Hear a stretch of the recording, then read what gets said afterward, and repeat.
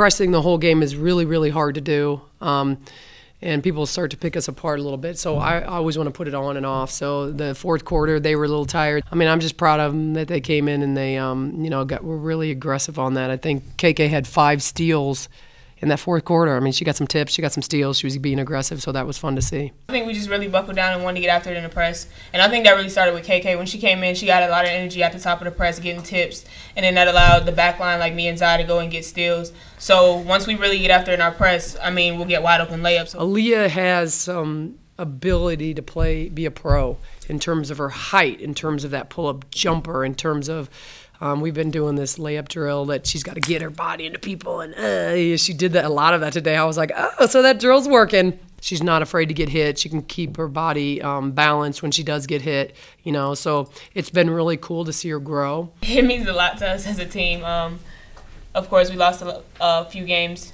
come, uh, coming into this game, but um, I think we really buckled down. We had a lot of energy. We played hard. We played for each other, and we played together, and we got the win. And of course, that ultimately feels great.